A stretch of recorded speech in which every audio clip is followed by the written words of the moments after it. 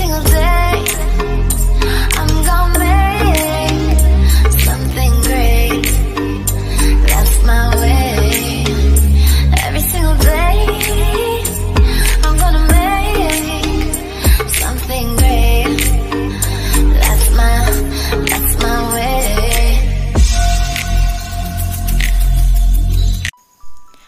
Hello friends good morning. Welcome back to my channel Sunitha's kitchen and vlogs. ఎలా ఉన్నారు friends? అందరు బాగున్నారు కదా?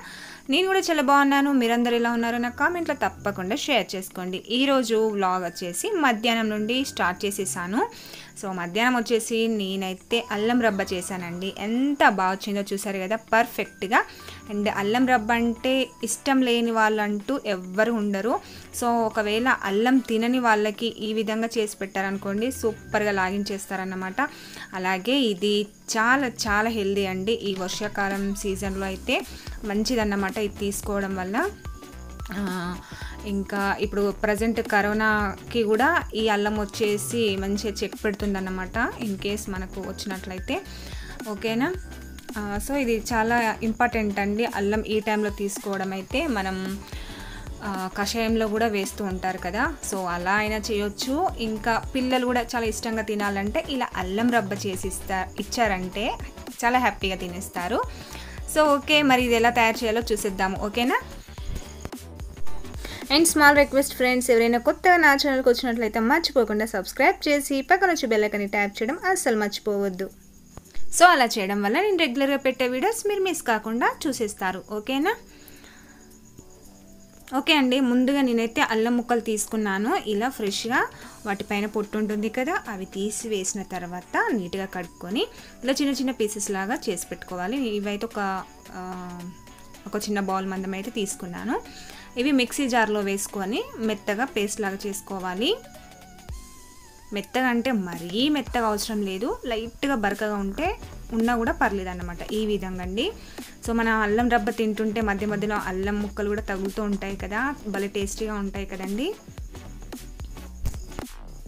ఓకే నెక్స్ట్ వచ్చేసి ఇలా కడాయి పెట్టుకొని అందులో ఏ కప్తో అయితే మనం అల్లం ముక్కలు తీసుకున్నామో అదే కప్పుతో టూ లేదా త్రీ కప్స్ షుగర్ యాడ్ చేసుకోవచ్చు. నేనైతే ఒక టూ కప్స్ వరకు అయితే వేస్తున్నాను.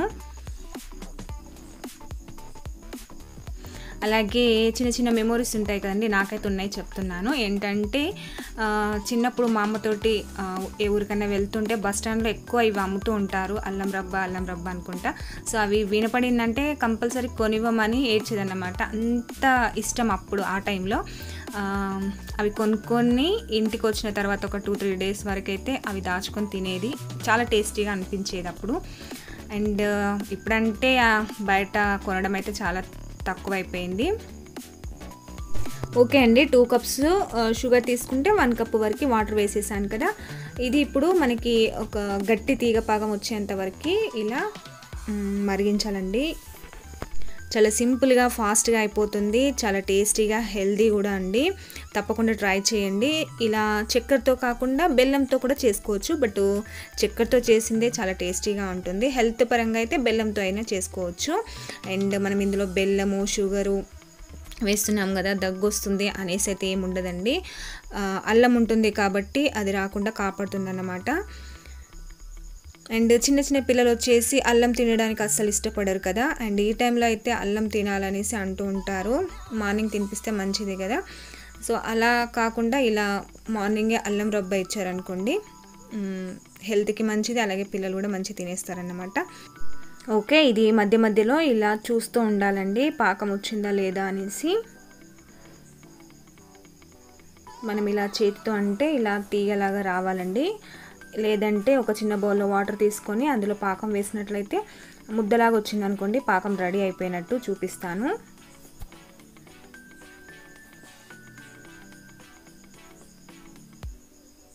అండ్ ఇది ఇలా మరుగుతున్నప్పుడే మనము అల్లం పేస్ట్ ఉంది కదా అది వేసేసుకోవాలి.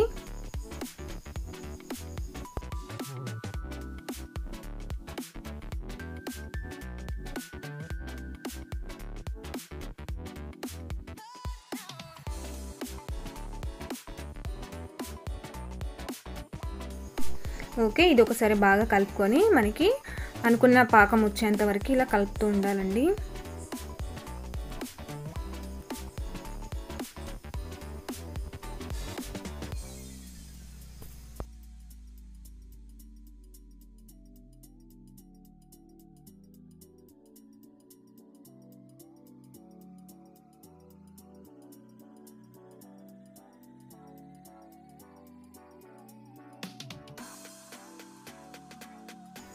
ఓకే అండి ఇది పాకం వచ్చినట్టు అనిపిస్తుంది. ఇలా వాటర్లో వేసి చూడాలండి. ఇలా మనకి ముద్దలాగా రావాలండి. సో మనకి పర్ఫెక్ట్గా పాకం అనేది రెడీ అయిపోయినట్టండి. ఇప్పుడు స్టవ్ అప్ చేసేయాలి. ఈలోపు ఒక ప్లేట్కి కొద్దిగా నెయ్యి అప్లై చేసేసుకోవాలి. సో మనకి అల్లం రబ్బ అనేది అంటుకోకుండా రావడానికి నెయ్యి కానీ నూనె కానీ వేసుకోవచ్చు. అండ్ ఈ ప్లేట్ పైన ఇప్పుడు మనం తయారు చేసి పెట్టుకున్న పాకం ఉంది కదా అది వేసేయాలి. అండ్ ఫాస్ట్ ఫాస్ట్గా దీన్ని కొద్దిగా స్ప్రెడ్ చేసుకోవాలండి. సో తొందరగా మనకి ఇది గడ్డగట్టిపోతుంది అన్నమాట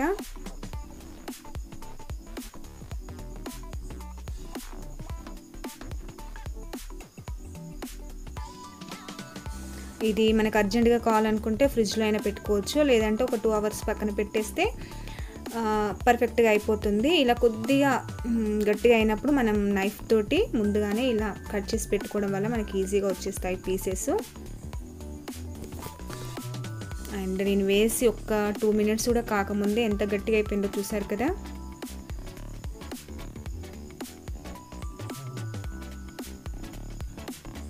అండ్ మనకు నచ్చిన షేప్లో కట్ చేసుకోవచ్చు.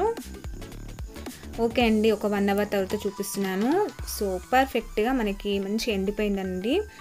సో చాలా ఈజీగా కూడా వస్తాయి. ప్లేట్కి మనం నెయ్యి అప్లై చేసాం కాబట్టి. సో చూసారు కదా ఎంత పర్ఫెక్ట్గా వచ్చిందో.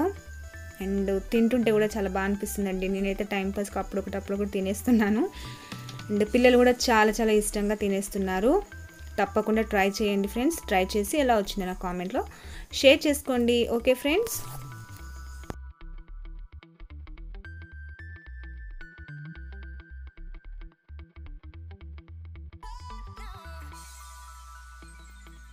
okay friends next వచ్చేసి నేను మా ఫ్రెండ్ ఇద్దరం కలిసి మార్కెట్కి వెళ్తున్నామండి తన బండి మీదనే. సో కొద్దిగా షూట్ చేద్దామనేసి తీసేసాను. అండ్ టైం వచ్చేసి అయితే మధ్యాహ్నం టూ అవుతుంది. తినేసిన తర్వాత స్లోగా వెళ్తున్నాము. అండ్ ఈ మాస్కులు పెట్టుకోవడం అయితే చాలా ఇబ్బందిగా ఉందండి. మీకు ఎలా ఉందో నాకు కామెంట్లో చెప్పండి. సో ఏంటంటే ఆ ప్లేస్ వరకు మొత్తం స్వెట్ వచ్చేస్తుంది అనమాట చెమట వచ్చే వచ్చేస్తుంది. మొత్తం బాగానే ఉంటుంది. ఆ మాస్క్ ఎక్కడి వరకు ఉందో అక్కడి వరకే చెమట వచ్చేస్తుంది అనమాట చాలా ఇబ్బందిగా అనిపిస్తుంది కదా. ఏంటో ఏమో ఎప్పుడు అయిపోతుందో ఈ పరిస్థితి మనకైతే. అండ్ వచ్చేసాము మా మార్కెట్కి. అండ్ ఇది ఒకసారి నేను మార్కెట్ మొత్తం చూపించిన రోజు అయితే చాలా చాలా కామెంట్స్ చేశారు. చాలా అడిగారనమాట మార్కెట్ చాలా బాగుంది అనేసి ఎక్కడ నిజంగానే మా మార్కెట్ అయితే చాలా బాగుంటుంది మాకు కూడా బాగా నచ్చుతుంది. అండ్ మా దగ్గర వచ్చేసి కొద్దిగా స్టిక్ చేశారు. ఏంటంటే లోపలికి ఎంట్రీ అవ్వేటప్పుడు టెంపరేచర్ చూస్తున్నారు అలాగే శానిటైజర్ కూడా వేసేస్తున్నారు. ఇంతవరకు అయితే లేకుండే ఇప్పుడే స్టార్ట్ చేశారనమాట బాగా అనిపించింది మాకు కూడా. సో ఈరోజు అయితే చాలా వెజిటేబుల్స్ వచ్చాయి. చాలా మంచిగా అనిపించింది అనమాట చాలా డేస్ తర్వాత. ఇదివరకు మీకు ఒకసారి చూపించినప్పుడు అన్నీ పలచ పలచగా అనిపించాయి కదా. సో ఈ అయితే నిండుగా అనిపించింది. అబ్బా ఎన్ని రోజులైంది అనేసి అనిపించింది అనమాట మాకైతే. సో హ్యాపీగా కూరగాయలు తీసేసుకొని ఇంటికి వెళ్ళిపోయాము.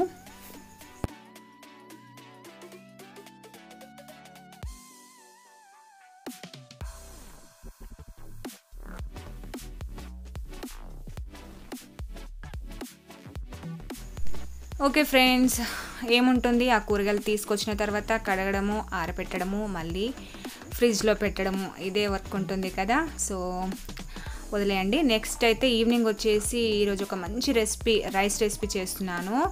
చాలా చాలా బాగుందండి. టేస్ట్ అయితే సూపర్ ఉంది. తప్పకుండా ట్రై చేయండి. ఏంటంటే చెప్తాను. ఫస్ట్ అయితే దా- దానికి గిన్నె పెట్టేసి అందులో కొద్దిగా నెయ్యి వేసాను బటర్ ఉంటే బటర్ అయినా వేసుకోవచ్చు. చాలా టేస్టీగా ఉంటుంది ఇంకా. అలాగే కొద్దిగా ఆయిల్ కూడా వేసేసాను. సో నైట్ ఎప్పుడైనా కర్రీ మళ్ళీ వండాల్సి వచ్చినప్పుడు రైస్ కర్రీ వేరు వేరు కాకుండా ఇలా ట్రై చేయండి ఎంత బాగుంటుందో మీరే బాగుందనేసి చెప్తారు నా కామెంట్లో. ఓకే టమాటో అలాగే వంకాయ అలాగే దొండకాయ అలాగే పొటాటో. ఇవి ఉన్నాయన్నమాట నా దగ్గర వెజిటేబుల్స్ వచ్చేసి. ఇవన్నీ కలిపి చేస్తున్నాను రైస్ రెసిపీ చాలా టేస్టీగా వచ్చింది. ఓకే ఫ్రెండ్స్ ప్రాసెస్ అయితే చూసేయండి.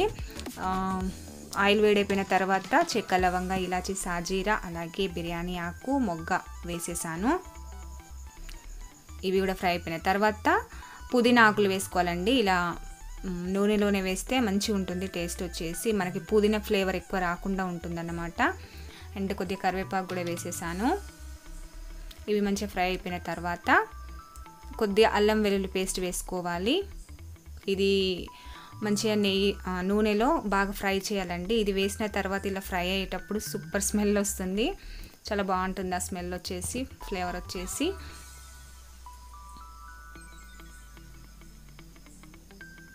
ఓకే ఇప్పుడు వచ్చేసి ఆనియన్స్ పచ్చిమిర్చి కూడా వేసేసాను. ఇవి కూడా మంచి ఫ్రై చేసుకోవాలి. మీరైతే కంపల్సరీ ఈ విధంగా ట్రై చేసి చూడండి ఫ్రెండ్స్ హండ్రెడ్ పర్సెంట్ నచ్చుతుంది. వెజిటేబుల్ బిర్యానీ కూడా అనుకోవచ్చు. ఏంటంటే అందులో క్యారెట్ బీన్స్ అవన్నీ వేస్తాము. బట్ నా దగ్గర క్యారెట్ బీన్స్ అయితే ప్రజెంట్ లేవు. సో ఉన్న వాటితోటే వేసేస్తున్నాను. చాలామంది అన్ని వెజిటేబుల్స్ వేసి కూడా చేస్తూ ఉంటారు. చాలా బాగుంటుందండి. బట్ దొండకాయ వంకాయ వేస్తారో లేదో నాకు తెలియదు. సో ట్రై చేయండి. ఒకవేళ వేయని వాళ్ళైతే.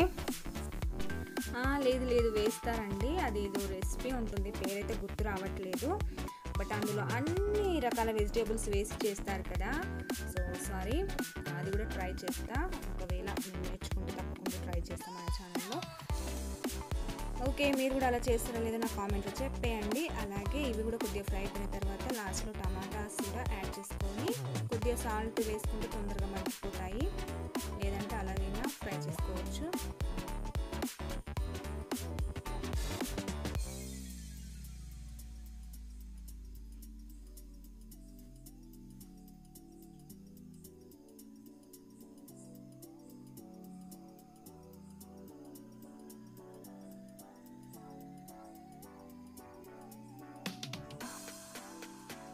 ఓకే అండి చూసారు కదా ఇవి మంచిగా ఫ్రై అయిపోయాయి. ఇప్పుడు ఇందులో కొద్దిగా పసుపు యాడ్ చేసుకోవాలి. పసుపు ముందైనా యాడ్ చేసుకోవచ్చు బట్ నేను లేట్గా యాడ్ చేశాను. మర్చిపోయాను అనుకుంటా. అలాగే కొద్దిగా కారం కూడా వేసుకోవాలి. మనం ఇందులో కొన్ని పచ్చిమిర్చి వేసాము అలాగే స్పైసెస్ గరం మసాలా కూడా వేసాము కదా ఇది సో అందుకే కొద్దిగా చూసుకొని కారం యాడ్ చేసుకోవాలన్నమాట. ఇప్పుడు నేను ముందుగా నానబెట్టుకున్న రైస్ అండి. ప్లే- మనం మామూలు రైస్ అన్నమాట తినే రైస్. సో అవి వేసుకొని ఒకసారి ఫ్రై చేసుకోవాలి. ఒక టూ మినిట్స్ వరకు. ఇలా ఫ్రై చేయడం వల్ల ఏంటంటే మనకి రైస్ అనేది మంచిగా పుల్లలు పుల్లలుగా చాలా బాగా వస్తుంది అన్నమాట పర్ఫెక్ట్గా. ఇలా నానబెట్టైనా వేసుకోవచ్చు లేదంటే డైరెక్ట్గా రైస్ అయినా యాడ్ చేసుకోవచ్చు. రైస్తో చేస్తేనే చాలా చాలా టేస్టీగా ఉందండి. ఒక బాస్మతి రైస్తో చేస్తే ఇంకా అది అదిరిపోతుంది అన్నమాట సో మీరైతే కంపల్సరీ ట్రై చేయండి. ఓకే ఇలా ఒక టూ మినిట్స్ ఫ్రై చేసిన తర్వాత నేను ఈ గ్లాస్ తోటి ఒక ఫైవ్ గ్లాసెస్ వరకు రైస్ తీసుకున్నాను కాబట్టి ఒక గ్లాస్కి one and half glass water add చేస్తాను నేనైతే. సో మొత్తం సెవెన్ గ్లాసెస్ వరకు అయితే యాడ్ చేశాను. ఎందుకంటే ఇవి బాగా నాని నానిన బియ్యం కాబట్టి నేను చేశాను. లేదంటే ఒక గ్లాస్కి టూ గ్లాసెస్ అయినా వేసుకోవచ్చు. డైరెక్ట్ బియ్యం యాడ్ చేస్తే మనం ఓకేనా?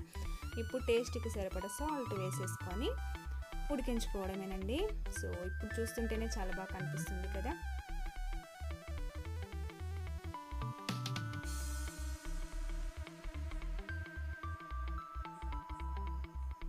ఓకే ఒకసారి మధ్యలో ఇలా చూసి ఒకసారి బాగా కలుపుకొని మళ్ళీ మూత పెట్టేసి సిమ్లో పెట్టేసి ఉడికించుకోవాలి. ఇప్పటివరకైతే అయితే హైలో ఉందండి. ఇలా అయిన తర్వాత కొద్దిగా మీడియం ఫ్లేమ్ లేదా సిమ్లో పెట్టి ఉడికించుకుంటే మనకు పర్ఫెక్ట్గా కుక్ అయిపోతుంది అన్నమాట